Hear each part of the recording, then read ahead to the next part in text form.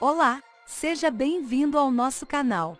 Isaquias Queiroz tem três missões na manhã deste sábado, noite de sexta no Brasil, penúltimo de competições nas Olimpíadas de Tóquio. Na primeira, a partir de 9 horas e 44, 21 horas e 44 de Brasília, ele disputa as semifinais dos seu 1000 metros no canal Sea Forest, palco das provas de canoagem em velocidade na capital japonesa. Se avançar, e tudo indica que ele irá, parte rumo à sua segunda missão, brigar pela medalha de ouro olímpica que lhe falta. Tem duas pratas e um bronze da Rio 2016, às 11 horas e 53, 23 horas e 53 de Brasília. A terceira, e mais especial de todas, é dedicar a medalha à memória do treinador espanhol Jesus Morlan, que morreu em 2018 depois de uma batalha de dois anos com um câncer no cérebro. Isaquias leva o nome do ex-técnico em seus pensamentos, suas entrevistas e em seus objetivos. Jesus foi um cara que mudou a trajetória da canoagem do Brasil,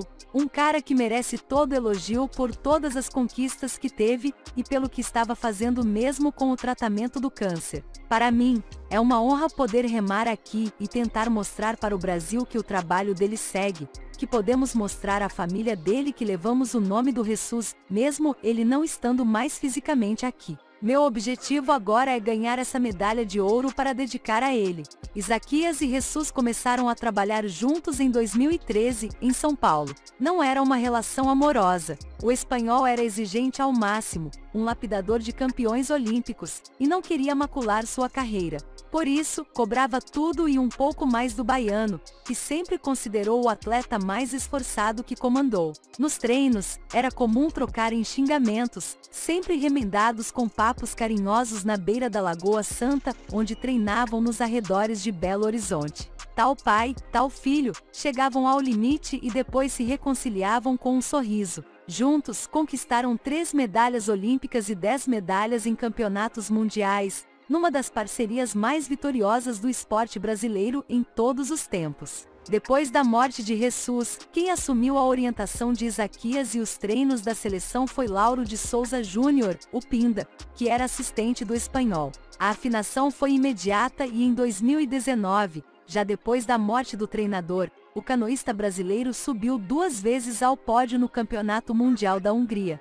O atleta vê em Lauro uma extensão de Jesus, nos últimos anos, o Lauro teve que assumir essa responsabilidade de tentar manter o nome dele e o do Jesus. Vou dedicar o resultado ao Lauro também. Eu me sinto na obrigação de chegar aqui e fazer bonito, comentou Isaquias. Estamos todos torcendo muito pelo Isaquias. Que ele consiga conquistar a medalha de ouro e a dedicar à memória de seu querido e saudoso treinador. No link que estou deixando na descrição você consegue acesso ao site oficial da promoção do All Play para assistir 7 dias de programação grátis, inclusive as Olimpíadas, filmes e séries muito bacanas. Se não quiser continuar depois de 7 dias é só cancelar. Bem simples. Aproveita lá, para apoiar nosso trabalho, deixe seu like, inscreva-se no canal, sem esquecer de acionar o sininho para receber as notificações dos próximos vídeos. Compartilhe em suas redes sociais e volte sempre. Um abraço, fiquem com Deus e até o próximo vídeo.